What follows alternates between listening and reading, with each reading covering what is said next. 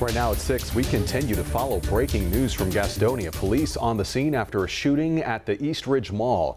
Here's what we know. Officials say four people were shot around noon. Three of them are expected to be okay. We're working to get an update on the fourth victim. We also know that authorities have two people in custody. Both are considered persons of interest here.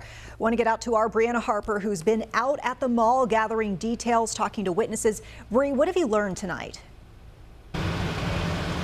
Yeah, Vanessa, just within the last couple minutes, I got a phone call from Gastonia police and they tell me that a 17 year old has been charged with several felonies related to this shooting. That other person of interest, a 23 year old, has not yet been charged. But those shots that were allegedly fired by that 17 year old certainly caused a lot of panic for folks who were here inside the Eastridge Mall.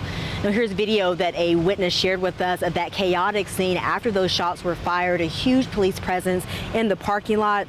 We're told initially police say two men and a woman were all taken to the hospital with non-life-threatening injuries after they were shot. This is cell phone video from inside the mall as EMS crews were treating one of those gunshot victims. And then a short time later, police identified a fourth victim who showed up to the hospital with a bullet wound. Now, as you can imagine, it was a chaotic scene for Charlotte for, for mall customers who say their only focus was safety.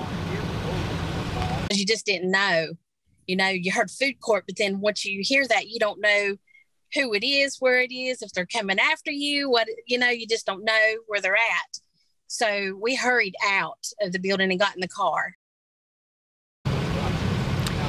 And police say at this moment they are trying to review surveillance video from inside the mall. They were also able to recover two guns. One of those guns I found near the food court here in the mall, and then another gun found in the nearby woods in this area. So this is still an ongoing, very active investigation, and we'll keep you updated with any new updates we learn. For now, reporting live in Gastonia, Briana Harper, WCNC, Charlotte.